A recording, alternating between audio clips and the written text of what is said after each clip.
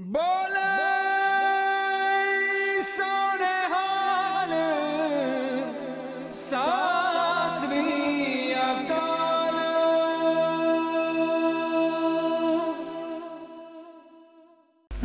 ਦੇਸ਼ ਵਿਦੇਸ਼ ਦੇ ਦਰਸ਼ਕਾਂ ਦਾ ਮੈਂ ਹਰਪ੍ਰੀਤ ਸਿੰਘ ਮਖੂ ਤਹਿ ਦਿਲ ਤੋਂ ਸਵਾਗਤ ਕਰਦਾ ਹਾਂ ਤੁਹਾਡੇ ਆਪਣੇ ਪ੍ਰੋਗਰਾਮ ਕੁਝ ਕੌੜੇ ਸੱਚ ਵਿੱਚ।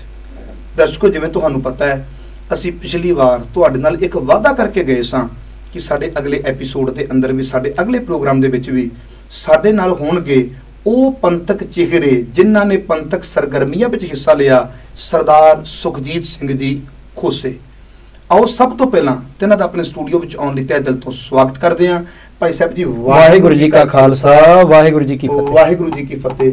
ਵੀਰ ਜੀ ਪਿਛਲੀ ਵਾਰ ਗੱਲਾਂ ਕਰਦੇ ਕਰਦੇ ਪੰਥ ਦੇ ਦਰਦ ਦੀਆਂ ਬਾਤਾਂ ਪਾਉਂਦੇ ਪਾਉਂਦੇ ਕਾਫੀ ਅੱਗੇ ਚਲੇ ਗਏ ਸੀ ਤੇ ਸਮੇਂ ਦੀਆਂ ਘੜੀਆਂ ਨੇ ਸਾਨੂੰ ਰੋਕ ਦਿੱਤਾ ਸੀ।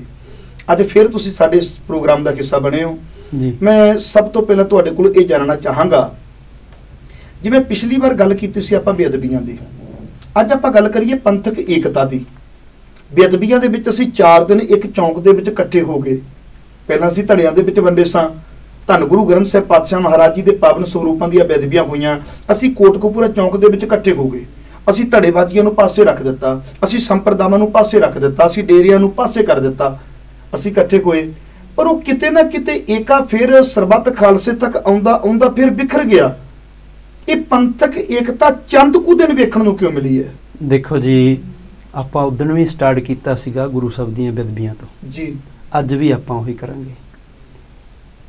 12 ਅਕਤੂਬਰ ਨੂੰ ਇਹ ਮੰਦਭਾਗੀ ਘਟਨਾ ਵਾਪਰਦੀ ਹੈ। ਜੀ।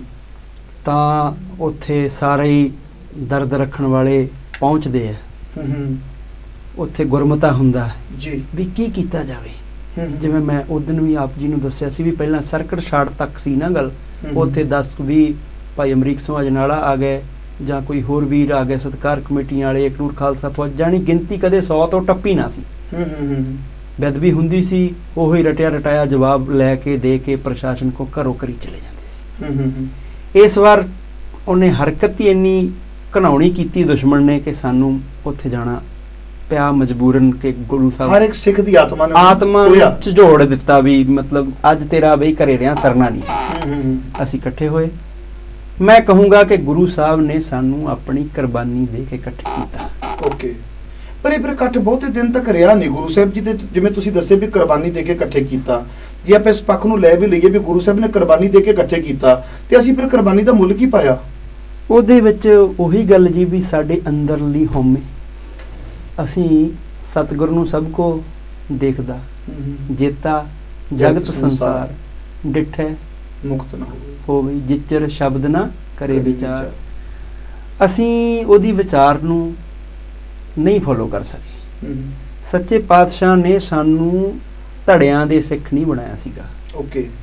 ਸਾਨੂੰ ਮਹਾਰਾਜ ਨੇ ਆਪਣੀ ਬੁੱਕਲ ਵਿੱਚ ਬਿਠਾਇਆ ਸੀ ਗੁਰੂ ਬਾਬੇ ਨਾਨਕ ਨੇ। ਹੂੰ ਹੂੰ ਹੂੰ। ਉਹ ਦੇ ਰੂਪ ਵਿੱਚ ਵੇਖ ਲਓ। ਪੱਟ ਸਾਹਿਬਾਨ ਦੇ ਰੂਪ ਚ ਵੇਖ ਲਓ। ਜਾਤੀ ਮਜ਼ਹਬ ਦਾ ਰੰਗ ਨਸਲ ਦਾ ਭਿੰਨ ਭਿਵਤ ਨਹੀਂ ਹੈ। ਸਾਡੇ ਵਿੱਚ ਅੱਜ ਸਿੱਖ ਹੋਣ ਅਸੀਂ ਸਿੱਖ ਹੋ ਗਏ ਹਾਂ। ਅਸੀਂ ਬਾਣਾ ਵੀ ਧਾਰਨ ਕਰ ਲਿਆ ਪਰ ਅਸੀਂ ਸਿੱਖੀ ਨੂੰ ਹਜੇ ਤੱਕ ਅਡਾਪਟ ਨਹੀਂ ਕਰ ਸਕੇ। ਕਿਸੇ ਨਾ ਕਿਸੇ ਥਾਂ ਤੇ ਜਾ ਕੇ ਸਾਨੂੰ ਜਿਹੜਾ ਸਾਡਾ ਧੜਾ ਨਾ ਉਹ ਪੰਥਕ ਏਕਤਾ ਦੇ ਵਿੱਚ ਜਾਣ ਤੋਂ ਰੋਕਦਾ। ਹੈ। ਹੂੰ ਹੂੰ। ਸਾਨੂੰ ਜੇ ਮੈਂ ਖਿਮਾ ਮੰਗਦਾ ਵਾਂ ਖਾਲਸਾ ਪੰਥ ਕੋਲੋਂ ਅੱਜ ਅਸੀਂ ਸ਼ੀਆ ਤੇ ਸੁੰਨੀ ਵਾਲੀ ਲੜਾਈ ਵਾਲੇ ਪੰਨੇ ਚਲੇ ਗਏ। ਓਕੇ।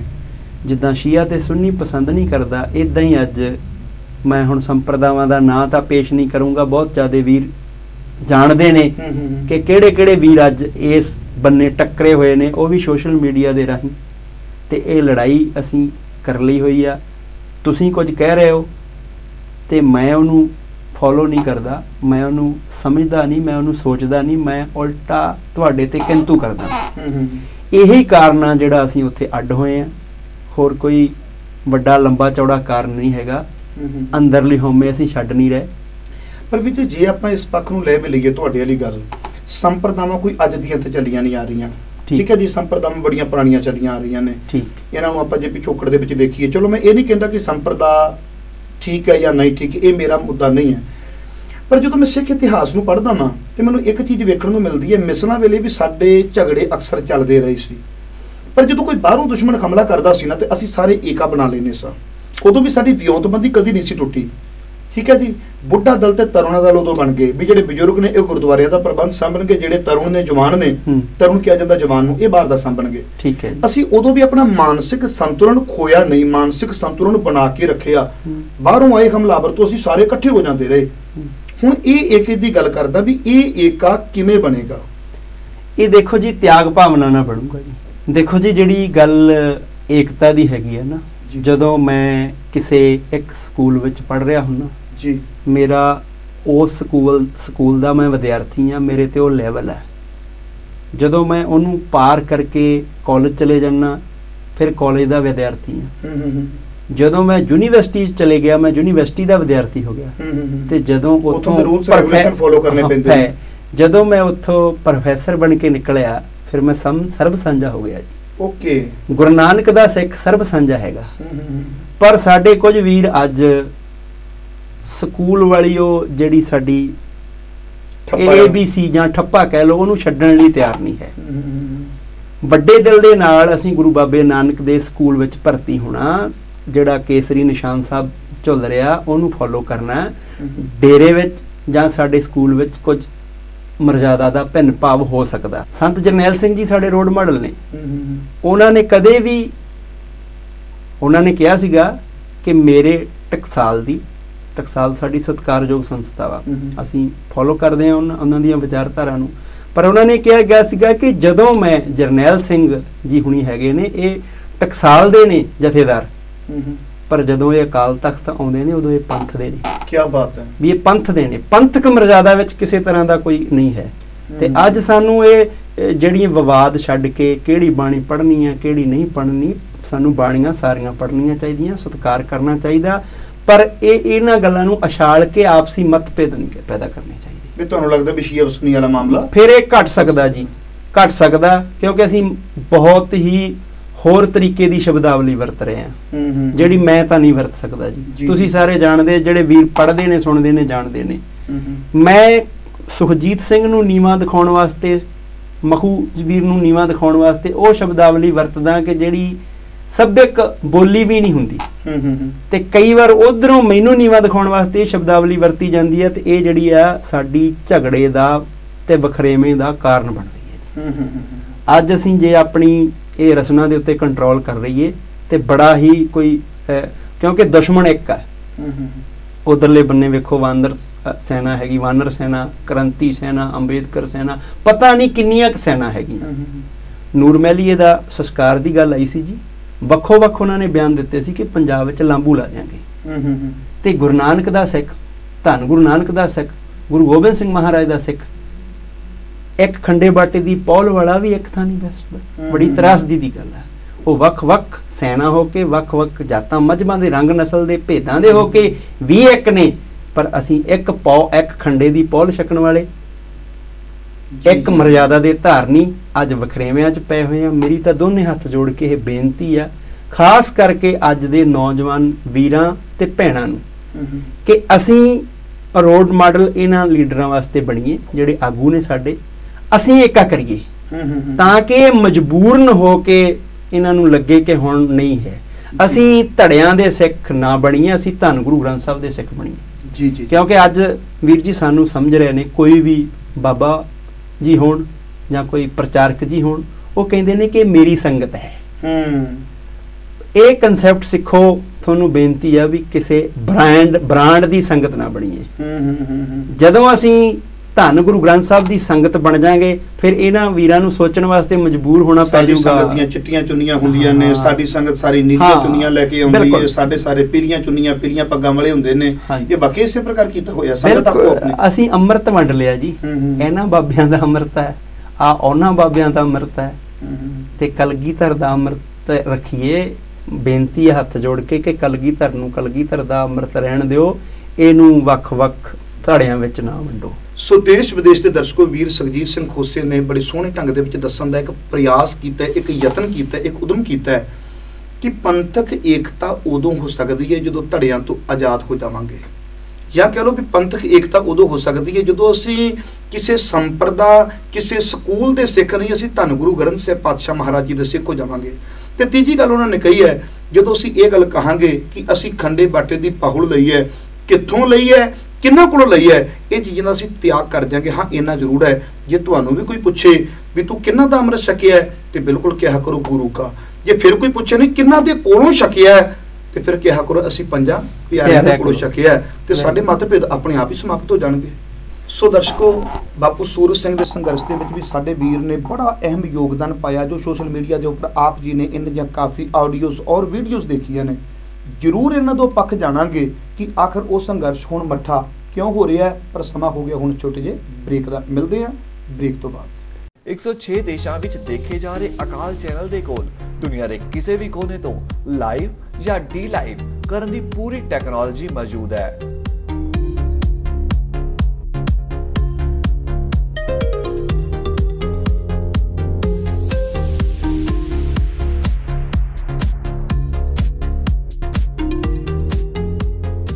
ਤੁਹਾਡਾ ਸਾਰਾ ਪ੍ਰੋਗਰਾਮ ਹਾਈ ਡੈਫੀਨੇਸ਼ਨ ਤੇ ਕਵਰ ਕੀਤਾ ਜਾਵੇਗਾ।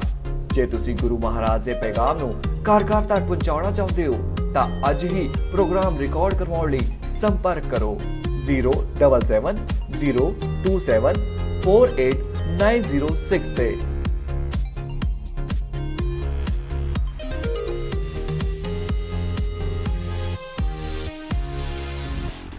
ਬ੍ਰੇਕ ਤੋਂ ਬਾਅਦ ਦੇਸ਼ ਵਿਦੇਸ਼ ਦੇ ਦਰਸ਼ਕਾਂ ਦਾ ਤਹਿ ਦਿਲ ਤੋਂ ਸਵਾਗਤ ਕਰਦਾ ਹਾਂ ਤੁਹਾਡੇ ਆਪਣੇ ਪ੍ਰੋਗਰਾਮ ਕੁਝ ਕੌੜੇ ਸੱਚ ਵਿੱਚ। ਗੱਲ ਕਰਦੇ ਸਾਂ ਕਿ ਸੁਖਜੀਤ ਸਿੰਘ ਖੋਸੇ ਜੀ ਨੂੰ ਪੁੱਛਾਂਗੇ ਜ਼ਰੂਰ ਜਾਣਾਂਗੇ ਕਿ ਬਾਪੂ ਸੂਰਜ ਸਿੰਘ ਦੇ ਸੰਘਰਸ਼ ਦਾ ਕੀ ਬਣਿਆ। ਭਾਈ ਸਾਹਿਬ ਜੀ ਇੱਕ ਮੈਂ ਸਵਾਲ ਪਹਿਲ ਦੇ ਆਧਾਰ ਤੇ ਕਰਦੇ ਆ ਇੱਕ ਤੁਹਾਡੀ ਵੀਡੀਓ ਆਈ ਸੀ ਜਿਹਦੇ ਵਿੱਚ ਤੁਸੀਂ ਪੈਟਰੋਲ ਦੀਆਂ ਬੋਤਲਾਂ ਭਰ ਕੇ ਰੱਖੀਆਂ ਸੀ। ਜੀ। ਵੀ ਬਾਪੂ ਸੂਰਜ ਸਿੰਘ ਨੂੰ ਜੇ ਕੋਈ ਚੱਕਣ ਦੇ ਲਈ ਆਇਆ ਤੇ ਸਾਡੀਆਂ ਲਾਸ਼ਾਂ ਦੇ ਉਤੋਂ ਦੀ ਹੋ ਕੇ ਜਾਵੇਗਾ। ਉਹ ਦੇਖਣ ਵਾਲੇ ਬੜੇ ਭਾਵੁਕ ਹੋ ਗਏ ਪਰ ਗੱਲਬਾਤ ਵਿੱਚ ਕੋਈ ਲੱਭੀ ਨਹੀਂ ਅਸੀਂ। ਦੇਖੋ ਜੀ ਸਵਾਲ ਤੁਹਾਡਾ ਇਹ ਕਰਨਾ ਜਾਇਜ਼ ਹੈ। ਵਾਕਿਆ ਹੀ ਇਹ ਕਿਹਾ ਗਿਆ ਸੀਗਾ। ਅਰਦਾਸ ਕੀਤੀ ਗਈ ਸੀਗੀ। ਤੁਸੀਂ ਸਵਾਲ ਛੋਟਾ ਕੀਤਾ ਹੈ। ਅੱਛਾ। ਕਿਉਂਕਿ ਪੈਟਰੋਲ ਦੀਆਂ ਬੋਤਲਾਂ ਰੱਖਣਾ ਸੁਖਜੀਤ ਸਿੰਘ ਦਾ ਪਲਾਨ ਨਹੀਂ ਹੈਗਾ ਸੀਗਾ। ਅੱਛਾ। ਉੱਥੇ ਜਿਹੜੇ ਨੌਜਵਾਨ ਸੀਗੇ ਪਹਿਲਾਂ ਹੂੰ।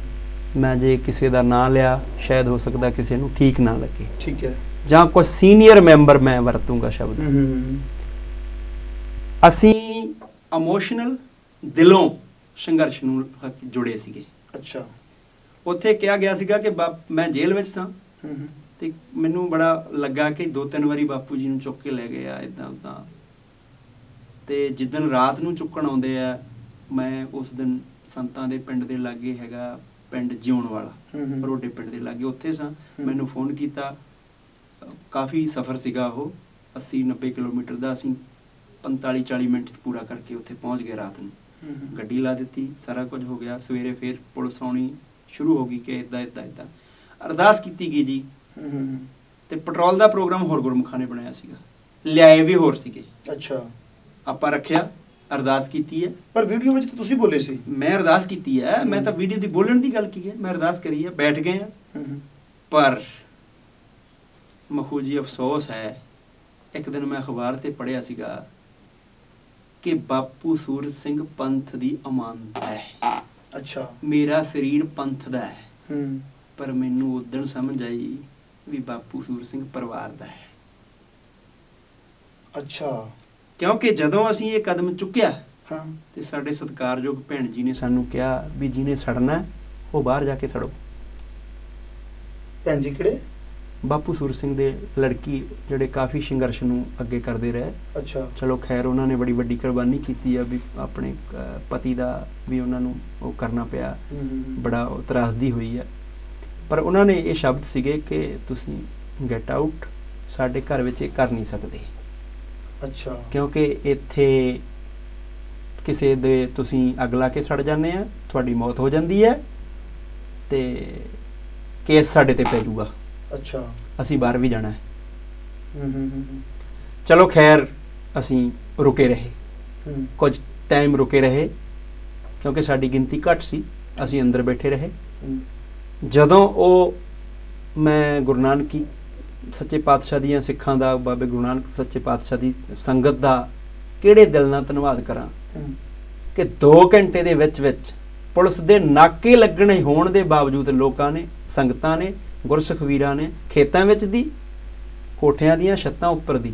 ਆਉਣਾ ਸ਼ੁਰੂ ਕਰ ਦਿੱਤਾ। ਜਦੋਂ ਸੰਗਤ ਵੱਧ ਗਈ ਤੇ ਅਸੀਂ ਉਹ ਜਿਹੜਾ ਭੈਣ ਜੀ ਦੇ ਆਖੇ ਚੁੱਕ ਕੇ ਸਾਰਾ ਸਿਸਟਮ ਸੜਕ ਤੇ ਲੈ ਗਏ। ਅੱਛਾ ਘਰੋਂ ਬਾਹਰ ਹੋ ਗਏ? ਘਰੋਂ ਬਾਹਰ ਹੋ ਗਏ। ਠੀਕ ਹੈ। ਮਤਲਬ ਅਸੀਂ ਨਹੀਂ ਸੀ ਚਾਹੁੰਦੇ ਬਈ ਕੋਈ ਕਿਸੇ ਤਰ੍ਹਾਂ ਦਾ ਸਾਡੇ ਕਾਰਨ ਕਰਕੇ ਇਹਨਾਂ ਦੇ ਪਰਿਵਾਰ ਨੂੰ ਸੇਕ ਲੱਗੇ ਕਿਉਂਕਿ ਅਸੀਂ ਤੇ ਪੰਥ ਦੀ ਤਰਜਮਾਨੀ ਕਰ ਰਿਹਾ ਸੀ ਬਾਪੂ ਤੇ ਉਹਦੇ ਸੰਘਰਸ਼ ਨੂੰ ਹੋ ਕੇ ਗਏ ਸੀ। ਠੀਕ ਹੈ। ਫਿਰ ਮੈਨੂੰ ਬਜ਼ੁਰਗਾਂ ਨੇ ਬੁਲਾਇਆ ਅੰਦਰ। ਬਾਪੂ ਸੂਰਜ ਸਿੰਘ ਉਹਨਾਂ ਨੇ। ਮੇਰਾ ਸੰਘਰਸ਼ ਉਹਨਾਂ ਦੇ ਬੋਲ ਸੀ ਕਿ ਮੇਰਾ ਸੰਘਰਸ਼ ਸ਼ਾਂਤਮਈ ਹੈ ਮੇਰੇ ਸੰਘਰਸ਼ ਵਿੱਚ ਕੱਚੀ ਰੋੜੀ ਵੀ ਡਿੱਗਣੀ ਨਹੀਂ ਚਾਹੀਦੀ। ਅੱਛਾ। ਪਰ ਸਾਡੇ ਲਈ ਸਵਾਲ ਸੀ ਕਿ ਅਸੀਂ ਅਰਦਾਸ ਕਰ ਬੈਠੇ ਹਾਂ। ਓਕੇ। ਉੱਥੇ ਫਿਰ ਜੀ ਜੋ ਬੀਤਿਆ ਹੁਣ ਕਿਉਂਕਿ ਸੰਗਤ ਦੇ ਤੱਕ ਜੇ ਗੱਲ ਸਾਡੇ ਕੋਲ ਸਮਾਂ ਹੀ ਨਹੀਂ 15 ਦਿਨ ਜੇਲ੍ਹ ਚਲੇ ਗਏ ਫਿਰ ਸਾਡੇ ਜੋ ਸੁੱਖ ਸਾਧ ਅ, ਸੀਗੇ ਮੋਬਾਈਲ ਵਗੈਰਾ ਮੇਰਾ ਉੱਥੇ ਸੀਗਾ ਕੋਈ 40 45 ਹਜ਼ਾਰ ਦਾ ਮੋਬਾਈਲ ਸੀਗਾ ਉਹ ਕੀਮਤ। ਰੱਖਣ ਵਾਲਾ। ਪੁਲਿਸ ਲੈ ਗਈ ਉਹਦੇ ਵਿੱਚ ਸਾਰਾ ਕੁਝ ਮੈਂ ਰਿਕਾਰਡ ਲਈ ਰੱਖਿਆ ਸੀ ਵੀ ਕੱਲ ਨੂੰ ਪੰਥ ਨੂੰ ਜਵਾਬ ਦੇ ਅਸੀਂ। ਅੱਛਾ। ਉੱਥੇ ਜੀ ਇਹ ਗੁਰਮੁਖ ਪਿਆਰੇ ਜਿੰਨੇ ਵੀ ਸੰਘਰਸ਼ ਕਮੇਟੀ ਵਾਲੇ ਆ ਇਹ 3 ਵਜੇ ਦੇ ਕਰੀਬ ਆਏ ਆ ਜੀ। ਤੜਕੇ? ਨਾ ਸ਼ਾਮ ਨੂੰ। ਅਗਲੇ ਦਿਨ ਸ਼ਾਮ ਨਾ ਉਦਣੀ ਉਸੇ ਹੀ ਦਿਨ। ਠੀਕ ਹੈ। 3 ਵਜੇ ਆਉਂਦੇ ਆ ਔਰ ਆਣ ਕੇ ਇਹਨਾਂ ਨੇ ਸਾਨੂੰ ਬਠਿੰਡਾ ਜੀ ਨੂੰ ਮੈਂ ਜ਼ਿਆਦਾ ਜਾਣਦਾ ਸੰਘਰਸ਼ ਕਮੇਟੀ ਦੇ ਉਹ ਕਨਵੀਨ ਕਨਵੀਨਰ ਸੀਗੇ। ਉਹਨਾਂ ਨੇ ਇਹ ਗੱਲ ਕਹੀ ਆ ਵੀ ਸਾਡੀ ਪ੍ਰਸ਼ਾਸਨ ਨਾਲ ਗੱਲ ਹੋ ਗਈ ਹੈ। ਤੇ ਅਸੀਂ ਪੰਥਕ ਧਿਰ ਦੇ ਵੱਲੋਂ ਕਿਉਂਕਿ ਸੰਘਰਸ਼ ਸਾਡਾ ਵਿੱਢਿਆ ਹੋਇਆ ਸੰਘਰਸ਼ ਕਮੇਟੀਆਂ ਅਸੀਂ ਤੁਹਾਨੂੰ ਬੇਨਤੀ ਵੀ ਕਰਦੇ ਆ ਤੇ ਹੁਕਮ ਵੀ ਕਰਦੇ ਆ ਵੀ ਇਹ ਕੰਮ ਬੰਦ ਕਰੋ। ਇਹ ਕੰਮ ਬੰਦ ਕਰੋ। ਮੈਂ ਕਿਹਾ ਜੀ ਅਸੀਂ ਅਰਦਾਸ ਕੀਤੀ ਹੂੰ। ਨਹੀਂ ਜੀ ਅਰਦਾਸ ਦੁਆਰਾ ਕਰੋ ਤੁਸੀਂ ਤੁਸੀਂ ਇਹ ਅਸੀਂ ਅਸੀਂ ਵਿਸ਼ਵਾਸ ਦਿਵਾਉਂਦੇ ਇਸ ਗੱਲ ਦਾ ਅੱਛਾ। ਕਿ ਇਹਨਾਂ ਨੂੰ ਕੋਈ ਜੇ ਚੁੱਕੂਗਾ ਅਸੀਂ ਤੁਹਾਡੇ ਨਾਲ ਅੱਗੇ ਹੋ ਕੇ ਮਰਾਂਗੇ। ਅੱਛਾ ਸੰਘਰਸ਼ ਕਮੇਟੀ ਨੇ ਤੁਹਾਨੂੰ ਕਿਹਾ? ਸਾਨੂੰ ਕਿਹਾ। ਇਹ ਗੱਲ ਪਰ ਇਹ ਗੱਲ ਲੋਕਾਂ ਤੱਕ ਕਿਉਂ ਨਹੀਂ ਆਈ? ਦੇਖੋ ਜੀ ਉਹ ਗੱਲ ਸਾਰੀਆਂ ਗੱਲਾਂ ਹੁਣ ਉੱਥੇ ਨਾ ਕੈਮਰਾ ਨਾ ਕੋਈ ਹੈ। ਹੁਣ ਜਿੰਨੇ ਗੁਰਮੁਖ ਪਿਆਰੇ ਨੇ ਉੱਥੇ ਜੇ ਸੰਗਤ ਚਾਹੇ ਮੈਂ ਇਕੱਲੇ ਇਕੱਲੇ ਨੂੰ ਸੰਗਤ ਦੇ ਸਨਮੁਖ ਪੇਸ਼ ਕਰ ਸਕਦਾ ਹਾਂ ਅੱਛਾ। ਅਰਦਾਸ ਕੀਤੀ ਗਈ ਹੈ। ਬਕਾਇਦਾ ਇਹਨਾਂ ਦਾ ਨਾਂ ਲਿਆ ਗਿਆ ਅਰਦਾਸ ਵਿੱਚ। ਇੱਕ ਮਿੰਟ ਭਾਈ ਵੀ ਆ ਸਲੋ ਸਲੋ ਕੰਮ ਕਰ ਰਹੇ ਬੈ- ਬਕਾਇਦਾ ਇਹਨਾਂ ਦਾ ਨਾਂ ਲਿਆ ਗਿਆ ਵੀ ਸੰਘਰਸ਼ ਕਮੇਟੀ ਵਾਲੇ ਵੀਰਾਂ ਦੇ ਤੇ ਪ੍ਰਸ਼ਾਸਨ ਦੇ ਕਹਿਣ ਤੇ ਸੱਚੇ ਪਾਤਸ਼ਾਹ ਅਸੀਂ ਤੁਹਾਡੇ ਕੋਲ ਅਰਦਾਸ ਕੀਤੀ ਸੀ ਸਵੇਰੇ ਵੀ ਅਸੀਂ ਆ ਜੇ ਬਾਪੂ ਸੂਰਜ ਸਿੰਘ ਨੂੰ ਕੋਈ ਲੈ ਕੇ ਜਾਂਦਾ ਸਾਡੀ ਲਾਸ਼ ਤੋਂ ਦੀ ਲੈ ਕੇ ਜਾਵੇਗਾ। ਪਰ ਇਹਨਾਂ ਦੇ ਵਿਸ਼ਵਾਸ ਦਿਵਾਉਣ ਦੀ ਖਾਤਰ ਮਹਾਰਾਜ ਅਸੀਂ ਆਪ ਜੀ ਕੋ ਇਹ ਮਾਫੀ ਮੰਗਦੇ ਹਾਂ ਤੇ ਇਹਨਾਂ ਨੇ ਭਰੋਸਾ ਦਵਾਇਆ ਵੀ ਅਸੀਂ ਇਹ ਜਿਹੜਾ ਕਾਰਜ ਜੇ ਕੋਈ ਕਰੂਗੀ ਤੇ ਅਸੀਂ ਅੱਗੇ ਹੋ ਕੇ ਤੁਹਾਡੇ ਨਾਲੋਂ ਵੀ ਸ਼ਹੀਦੀ ਦੇਵਾਂਗੇ। ਇਹ ਅਰਦਾਸ ਫਿਰ ਦੁਬਾਰਾ ਹੋਈ ਹੈ? ਸ਼ਾਮ ਨੂੰ ਅਰਦਾਸ ਸਮਾਪਤੀ ਦੀ ਅਰਦਾਸ ਵੀ ਕੀਤੀ ਹੈ ਨਾਲ। ਅੱਛਾ। ਉਸ ਦਿਨ ਲਈ। ਜੀ। ਫਿਰ ਮੇਰਾ ਮੋਰਚਾਬੰਦੀ ਹਰ ਇਨਸਾਨ ਦਾ ਤਰੀਕਾ ਮਖੂ ਜੀ ਮੈਂ ਮੋਰਚਾਬੰਦੀ ਕੀਤੀ ਹੋਈ ਸੀ। ਗੇਟ ਵਿੱਚ ਟਰਾਲੀ ਲਾਈ ਸੀ ਇੱਟਾਂ ਰੱਖੀਆਂ ਹੋਈਆਂ ਸੀ। ਕੋਠੇ ਤੇ ਵੀ ਇੱਟਾਂ ਰੋੜੇ ਚੜਾਏ ਹੋਏ ਸੀ ਆਪਣੀ ਪੂਰੀ ਤਿਆਰੀ ਕਰੀ ਸੀ ਪੁਲਿਸ ਨਾਲ ਕਿਉਂਕਿ। ਅਸੀਂ ਖਾਲੀ ਹੱਥ ਸਾਂ। ਸਾਡੇ ਕੋਲ ਕੋਈ ਹਥਿਆਰ ਤਾਂ ਹੈ ਨਹੀਂ ਸੀਗੇ। ਆਪਣੀ ਪੂਰੀ ਤਿਆਰੀ ਸੀ ਉਹ ਡਰਦੇ ਰਹੇ। ਪਰ ਮੇਰੀ ਉਹ ਜਿਹੜੀ ਉੱਥੇ ਲਵਾਈ ਹੋਈ ਟਰਾਲੀ ਹੈ ਉਹਨੂੰ ਵੀ ਇਹਨਾਂ ਗੁਰਮੁਖਾਂ ਨੇ ਬਾਹਰ ਕਢਾਇਆ। ਕਿ ਇਹਨੂੰ ਬਾਹਰ ਉਸ ਦੇ ਕੱਢੋ। ਆਉਣ ਤੋਂ ਪਹਿਲਾਂ ਹੀ? ਪੁਲਿਸ ਤਾਂ ਬਾਬਾ ਜੀ 10 ਦਿਨ ਬਾਅਦ ਆਉਂਦੀ ਹੈ ਨਾ। ਓਕੇ। ਪੁਲਿਸ 10 ਦਿਨ ਬਾਅਦ ਆਉਂਦੀ ਹੈ। ਇਹਨਾਂ ਨੇ ਉਦਣ ਹੀ ਉਹਨੂੰ ਉੱਥੋਂ ਕਿਹਾ ਕਿ ਕੋਈ ਲੋੜ ਨਹੀਂ ਹੂੰ। ਫਿਰ ਉੱਥੇ ਬਹੁਤ ਜ਼ਿਆਦਾ ਹੁੰਦਾ ਰਿਹਾ ਇਸ ਤਰ੍ਹਾਂ ਹੀ ਪਰਿਵਾਰ ਵੱਲੋਂ। ਵੀ ਚਲੇ ਜਾਓ। ਤੁਸੀਂ ਸਾਡਾ ਸੰਘਰਸ਼ ਸ਼ਾਂਤਮਈ ਆ ਤੁਸੀਂ ਅੜਿੱਕਾ ਬਣ ਰਹੇ ਹੋ। ਹੁਣ ਅਸੀਂ ਅੱਜ ਤੱਕ ਇਹ ਗੱਲ ਨਹੀਂ ਸੰਗਤ ਨਾਲ ਸਾਂਝੀ ਕਰ ਸਕ ਸਕਦੇ ਸੀਗੇ ਕਿਉਂਕਿ ਕੌਮ ਦੀ ਇਹ ਇੱਕ ਪੱਗ ਦਾ ਸਵਾਲ ਹੂੰ। ਪਰ ਹੁਣ ਬਹੁਤ ਸੰਗਤਾਂ ਨੇ ਮਜਬੂਰ ਕਰਤਾ ਵੀ ਤੂੰ ਬੋਲਦਾ ਹੀ ਕੁਝ ਨਹੀਂ ਬੋਲਦਾ ਹੀ ਕੁਝ ਨਹੀਂ ਅੱਜ ਤੁਸੀਂ ਵੀ ਇਹ ਕਰ ਲਿਆ ਤੇ ਹੁਣ ਮੈਂ ਦਿਲ ਤੋਂ ਹਜੇ ਵੀ ਬਹੁਤ ਕੁਝ ਮੈਂ ਅੰਦਰ ਛੁਪਾ ਕੇ ਰੱਖ ਰਿਹਾ।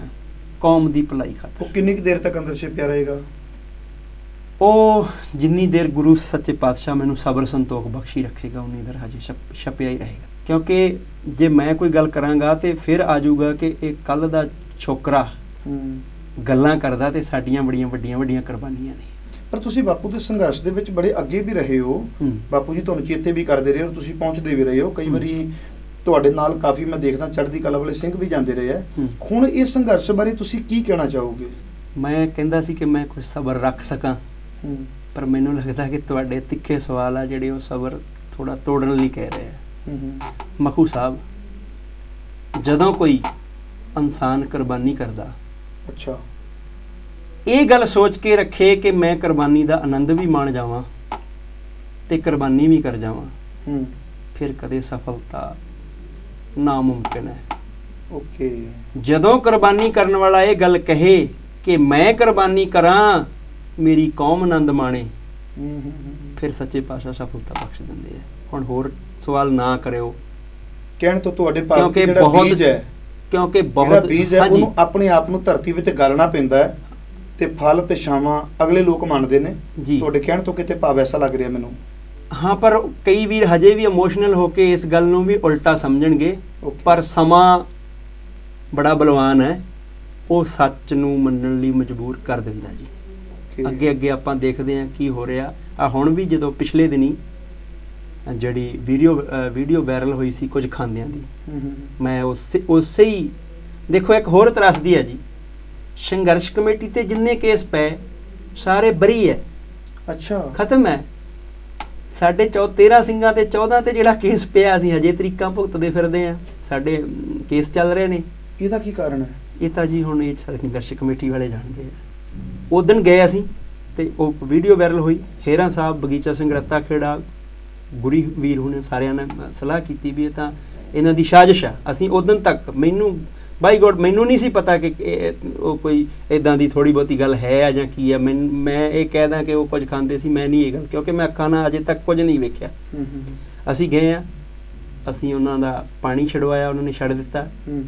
ਇੱਕ ਵਾਰ ਫਿਰ ਜਾਨ ਪੈ ਗਈ ਹੈ ਚੀਮਾ ਜੀ ਆਉਂਦੇ ਆ। ਪਰ ਜਦੋਂ ਫੈਸਲਾ ਲੈਣ ਤੇ ਗੱਲ ਆਉਂਦੀ ਆ ਉਹ ਫਿਰ ਕਹਿੰਦੇ ਆ ਜੀ ਸੰਘਰਸ਼ ਕਮੇਟੀ ਲਏਗੀ ਅੱਛਾ। ਇਹ ਪ੍ਰਮਾਤਮਾ ਜਾਣਦਾ ਜੀ ਕੀ ਰਾਜ ਹੈ। ਕਿਉਂਕਿ ਜੇ ਕੌਮ ਦਾ ਹੈਗਾ ਫਿਰ ਬਾਪੂ ਜੀ ਹੈਗੇ ਨੇ। ਅੱਜ ਵੀ ਉਹ ਕੌਮ ਨੂੰ ਦੇ ਦੇਣ। ਕੌਮ ਨੂੰ ਇੰਟਰਫੇਅਰ ਕਰਨ ਦੇਣ ਉਹਦੇ ਵਿੱਚ। ਉਹ ਚੰਦ ਕੁ ਲੋਕ ਨਹੀਂ ਹੈਗੇ ਜਿਹੜੇ ਵੀਰ ਉੱਥੇ ਉਹ ਕਰਦੇ ਨੇ। ਉਹ ਤਾਂ ਫਿਰ ਉਹੀ ਜਾਣਦੇ ਨੇ ਕਿ ਇਹਦੇ ਵਿੱਚ ਸੱਚ ਕੀ ਹੈ ਫਿਰ ਅਸੀਂ ਤੈਨੂੰ ਥੋੜਾ ਜਿਹਾ ਪਿੱਛੇ ਹੋ ਕੇ ਬੈਠੇ ਹੋਏ ਆ ਇੱਕ ਸੁਰਜੀਤ ਸਿੰਘ ਜੀ ਖੋਸੇ ਜੀ ਕਦੀ ਤੁਸੀਂ ਇਸ ਸੰਘਰਸ਼ ਵਿੱਚ ਸਾਰਿਆਂ ਤੋਂ ਮੂਹਰੇ ਸੀ? ਪਰ ਅੱਜ ਦੇਖ ਰਿਹਾ ਮੈਂ ਤੁਹਾਡੀ ਉੱਥੇ ਹਾਜ਼ਰੀ ਨਾ ਮਾਤਰ ਹੈ। ਇਹਦਾ ਤੁਸੀਂ ਕੀ ਕਾਰਨ ਮੰਨਦੇ ਹੋ? ਦੇਖੋ ਜੀ ਜਦੋਂ ਤੁਹਾਨੂੰ ਘਰ ਦਾ ਪਰਿਵਾਰ ਇਹ ਗੱਲ ਕਹਿ ਚੁੱਕਾ ਹੋਵੇ ਕਿ ਸਾਨੂੰ ਤੁਹਾਡੀ ਲੋੜ ਨਹੀਂ ਹੈ। ਅਸੀਂ ਫੇਰ ਵੀ ਜਾਂਦੇ ਰਹੇ ਹਾਂ। ਪਰ ਨਾਲੇ ਬਾਪੂ ਜੀ ਨੇ ਤਾਂ ਖੁਦ ਇਹ ਬਚਨ ਕਿਹਾ ਆ ਕਿ ਮੈਂ ਇਹ ਜਿਹੜੀ ਵਸੀਅਤ ਹੈ ਇਹ ਕੌਮ ਦੇ ਨਾਮ ਤੇ ਕਰਾਤੀ। ਫਿਰ ਜੇ ਕੌਮ ਦੀ ਵਸੀਅਤ ਹੈ ਬਾਪੂ ਬਾਪੂ ਸੂਰਜ ਸਿੰਘ ਜੀ ਖਾਲਸਾ ਜੇ ਕੌਮ ਦੇ ਨੇ। ਤੇ ਫਿਰ ਪਰਿਵਾਰ ਤੁਹਾਨੂੰ ਇਹ ਗੱਲ ਕਿਵੇਂ ਕਹਿ ਸਕਦਾ ਆ? ਤੁਹਾਡੇ ਸ਼ਬਦਾਂ ਤੋਂ ਹੀ ਮੈਂ ਸ਼ਬਦ ਲੈ ਰਿਹਾ ਮਾਂ ਦੇਖੋ ਜੀ ਕਈ ਵਾਰ ਤਨ ਮਨ ਧਨ ਸਭ ਸੌਂਪ ਗੁਰ ਕੋ ਹੁਕਮ ਮੰਨੀਏ ਪਾਈਏ। ਵੀ ਤਨ ਵੀ ਸੌਂਪਤਾ ਮਨ ਵੀ ਸੌਂਪਤਾ ਧਨ ਵੀ ਸੌਂਪਤਾ। ਜੀ। ਪਰ ਅੱਜ ਅਸੀਂ ਕਹਿੰਦੇ ਆ ਤਨ ਮਨ ਹੈਗਾ ਤੇਰਾ ਪਰ ਕਬਜ਼ਾ ਮੇਰਾ। ਹੂੰ ਹੂੰ ਹੂੰ, ਜੇ ਹੁਣ ਕਬਜ਼ਾ ਹੀ ਨਹੀਂ ਛੱਡਾਂਗੇ। ਕਹਿ ਦਿੱਤਾ ਬਾਪੂ ਕੌਮ ਦਾ ਪਰ ਕਬਜ਼ਾ ਤਾਂ ਘਰ ਵਾਲਿਆਂ ਦਾ ਹੀ ਆ ਭਾਈ। ਓਕੇ। ਠੀਕ ਹੈ ਨਾ? ਹੁਣ ਪ੍ਰੋਬਲਮ ਉੱਥੇ ਮਖੂ ਸਾਹਿਬ ਇਹ ਖੜੀ ਹੈ ਵੀ ਉਹ ਆਪਣੇ ਘਰ 'ਚ ਸੰਘਰਸ਼ ਕਰ ਰਹੇ ਹੂੰ। ਮਰਜ਼ੀ ਉਹ ਜਿਹਨੂੰ ਬਿਠਾਉਣਾ ਚਾਹਣ ਜਿਹਨੂੰ ਕਹਿਣਾ ਚਾਹਣ ਉਹ ਬੈਠੇਗਾ। ਤੇ ਕਾਫੀ ਵਾਰ ਹੋਇਆ ਹੈ ਕਿ ਜਦੋਂ ਕੋਈ ਫੈਸਲਾ ਲੈਣ ਦੀ ਗੱਲ ਹੁੰਦੀ ਆ ਉਹ ਫੈਸਲਾ ਗੁਪਤ ਰੂਪ ਵਿੱਚ ਲਿਆ ਜਾਂਦਾ ਹੈ। ਅੱਛਾ। ਉਹਦੇ ਵਿੱਚ ਨੌਜਵਾਨਾਂ ਨੂੰ ਨਜ਼ਰਅੰਦਾਜ਼ ਕੀਤਾ ਜਾਂਦਾ ਤੇ ਇਹ ਪ੍ਰਮਾਤਮਾ ਜਾਣਦਾ ਵੀ ਪਿਛਲੇ ਬੰਨੇ ਕੀ ਹੈ। ਇਸ ਕਰਕੇ ਰੋਜ਼-ਰੋਜ਼ ਦੀ ਖੱਜਲ ਖੁਆਰੀ ਨੂੰ ਫਿਰ ਜਦੋਂ ਸੰਘਰਸ਼ ਕਮੇਟੀ ਆਉਂਦੀ ਹੈ ਉਹਨਾਂ ਨੂੰ ਕੋਈ ਰੋਕ ਟੋਕ ਨਹੀਂ ਹੈ। ਜੇ ਅੱਜ ਵੀ ਸੁਖਜੀਤ ਸਿੰਘ ਖੋਸੇ ਨੇ ਜਾਣਾ ਹੋਵੇ ਇਹਨੂੰ ਰੋਕਿਆ ਜਾਵੇਗਾ। ਅੱਛਾ। ਪ੍ਰਸ਼ਾਸਨ ਰੋਕੇਗਾ। ਪ੍ਰਸ਼ਾਸਨ ਵੱਲੋਂ। ਬਿਲਕੁਲ ਰੋਕੇਗਾ ਜੀ। ਜਿੱਦਨ ਇਹਨਾਂ ਨੇ ਭੋਗ ਆਰੰਭ ਕਰਾਇਆ ਸੀਗਾ ਹਸਪੀਟਲ ਤੋਂ ਸਾਡੇ ਪਰਚੇ ਹੋਣ ਤੋਂ ਬਾਅਦ ਹਸਪੀਟਲ ਤੋਂ ਆਣ ਕੇ ਘਰ 'ਚ ਹੂੰ ਹੂੰ। ਅਖੰਡ ਪਾਠ ਸਾਹਿਬ ਆਰੰਭ ਕਰਾਏ ਸੀਗੇ। ਸਾਰਿਆਂ ਨੂੰ ਜਾਣ ਦਿੱਤਾ ਗਿਆ ਸੀਗਾ ਔਰ ਖੋਸੇ ਲਈ ਬਹੁਤ ਵੱਡੀ ਫੋਰਸ ਲਾਈ ਸੀ ਔਰ ਬਹੁਤ ਜਦੋਜਹਿਦ ਔਰ ਮੈਨੂੰ ਘਰ ਤੱਕ ਵੀ ਨਹੀਂ ਜਾਣ ਦਿੱਤਾ ਗਿਆ ਸੀਗਾ। ਤੇ ਮੈਨੂੰ ਥੋੜਾ ਥੋੜਾ ਮਹਿਸੂਸ ਹੋਇਆ ਵੀ ਇਹਦੇ ਪਿੱਛੇ ਕੋਈ ਕਾਰਨ ਹੈ। ਵੀ ਕੀ ਕਾਰਨ ਹੋ ਸਕਦੇ ਨੇ ਤਾਂ ਹੁਣ ਪਰਿਵਾਰ ਜਾਣਦਾ ਵੀ ਇਹਦੇ ਪਿੱਛੇ ਕੀ ਕਾਰਨ ਨੇ। ਕਿਉਂਕਿ ਮੇਰੇ ਤੇ ਜੇ ਮਖੂ ਜੀ ਕੋਈ ਲਾ ਐਂਡ ਆਰਡਰ ਗਵਰਨਮੈਂਟ ਕਰਦੀ ਆ ਤੇ ਉਹ ਸਾਰਿਆਂ ਦੇ ਉੱਤੇ ਹੁੰਦਾ। ਹਾਂ। ਤੇ ਵਨ ਪਰਸਨ ਨੂੰ ਜਦੋਂ ਟਾਰਗੇਟ ਬਣਾ ਕੇ ਗੱਲ ਕੀਤੀ ਜਾਂਦੀ ਹੈ ਤੇ ਫਿਰ ਮਨ ਦੇ ਅੰਦਰ ਕੁਝ ਥੋੜਾ ਜਿਹਾ ਪੈਦਾ ਹੁੰਦਾ ਵੀ ਅਸੀਂ ਬੱਚੇ ਵੀ ਛੱਡਦੇ ਹਾਂ ਅਸੀਂ ਪਰਿਵਾਰ ਵੀ ਛੱਡਦੇ ਹਾਂ ਅਸੀਂ ਮੋਰੀ ਹੋ ਕੇ ਵਿਚਰਨਾ ਵੀ ਚਾਹੁੰਦੇ ਹਾਂ ਵੀ ਇਹ ਗੱਲ ਕਿਸੇ ਨਿਜ ਨਿਰਸਵਾਰਥ ਹੋ ਕੇ ਮੈਂ ਆਪ ਜੀ ਨੂੰ ਬੁਲਾਉਂਦਾ ਰਿਹਾ। ਜਿੰਨੇ ਦਿਨ ਰਿਹਾ ਦਾਸ ਰਾਤ ਦੇ ਵੀ ਦੀਵਾਨ ਲੱਗਦੇ ਰਹੇ। ਅੰਮ੍ਰਿਤ ਵੇਲੇ ਵੀ ਪ੍ਰਕਾਸ਼ ਹੁੰਦਾ ਰਿਹਾ। ਕਿੰਨਾ ਕਿੰਨੇ ਜੋਬਨ ਤੇ ਸੰਘਰਸ਼ ਸੀ। ਪਰ ਉਹਨੂੰ ਹੁਣ ਜ਼ੀਰੋ ਕਰਨ ਵਾਲੇ ਵੀ ਵੀਰੋ ਮਤਲਬ ਹੁਣ ਤੁਸੀਂ ਸਮਝਦੇ ਹੀ ਹੋ ਸਾਰੀ ਗੱਲ ਜੀ ਜੀ ਜੀ। ਸੋ ਦੇਸ਼ ਵਿਦੇਸ਼ ਦੇ ਦਰਸ਼ਕੋ ਸੁਖਜੀਤ ਸਿੰਘ ਖੋਸੇ ਦਾ ਅੰਦਰ ਕਾਫੀ ਭਰਿਆ ਹੋਇਆ ਹੈ। ਕੌਮੀ ਪੰਥ ਦੇ ਦਰਦਾਂ ਦੇ ਨਾਲ। ਕਾਫੀ ਕੁਝ ਆਪਾਂ ਇਹਨਾਂ ਦੇ ਅੰਦਰੋਂ ਕਢਾਉਣ ਦਾ ਯਤਨ ਕੀਤਾ, ਪਰ ਵੀਰ ਨੇ ਫਿਰ ਵੀ ਇਹ ਗੱਲ ਕਹੀ ਹੈ ਕਿ ਮੇਰੇ ਅੰਦਰ ਬੜਾ ਕੁਝ ਹੈ ਤੇ ਉਨੀ ਦੇਰ ਤੱਕ ਇਹਨੂੰ ਮੈਂ ਆਪਣੇ ਅੰਦਰ ਸਾਂਭ ਕੇ ਰੱਖਾਂਗਾ, ਜਿੰਨੀ ਦੇਰ ਤੱਕ ਮੇਰੇ ਗੁਰੂ ਮੈਨੂੰ ਸਬਰ ਤੇ ਸੰਤੋਖ ਬਖਸ਼ਦੇ ਨੇ। ਕਿਤੇ ਫਿਰ ਸਬਬ ਬਣਿਆ, ਤੁਹਾਡੇ ਨਾਲ ਇਹ ਚਿਹਰਾ ਜ਼ਰੂਰ ਅਸੀਂ ਸਾਂਝਾ ਕਰਾਂਗੇ। ਹੁਣ ਸਮੇਂ ਦੀਆਂ ਕੜੀਆਂ ਦਰਸ਼ਕੋ ਕਿਸੇ ਦਾ ਇੰਤਜ਼ਾਰ ਨਹੀਂ ਕਰਦੀਆਂ। ਸੋ ਸਰਦਾਰ ਸੁਖਜੀਤ ਸਿੰਘ ਜੀ ਖੋਸੇ ਜੀ ਜਾਂਦੇ ਜਾਂਦੇ ਸਾਡੇ ਦੇਸ਼ ਵਿਦੇਸ਼ ਦੇ ਦਰਸ਼ਕਾਂ ਨੂੰ ਤੁਸੀਂ ਕੀ ਸੰਦੇਸ਼ ਦੇਣਾ ਚਾਹੋਗੇ? ਦੇਖੋ ਜੀ, ਇੱਕ ਗਰੀਬ ਸਿੱਖ ਸੰਦੇਸ਼ ਨਹੀਂ ਦੇ ਸਕਦਾ। ਮੈਂ ਤਾਂ ਤੁਹਾਡਾ ਧੰਨਵਾਦ ਕਰਦਾ ਜੀ ਪਹਿਲਾਂ